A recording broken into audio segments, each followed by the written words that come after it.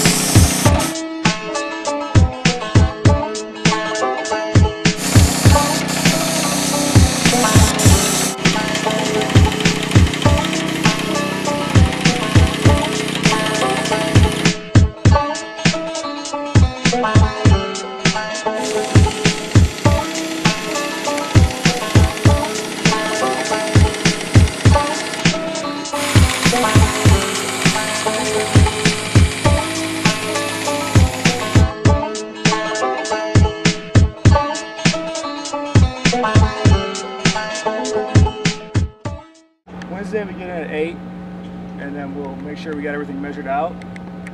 And then what we'll do is we'll pull the line rail around the border, all the sidelines and the goal line, make sure they're straight. And then once that dries, you just start filling in five yarders and then numbers and hashes, and that's your Wednesday.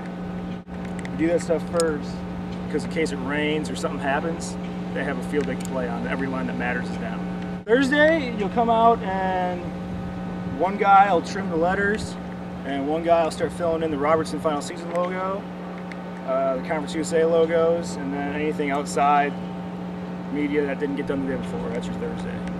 Before the game is usually nothing but red paint.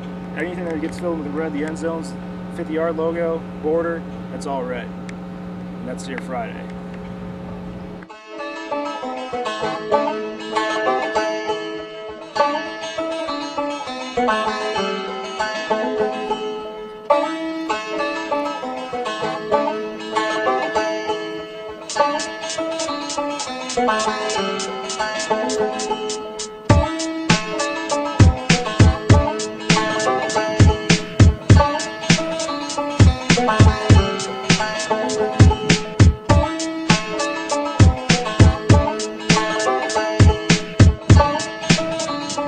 Bye.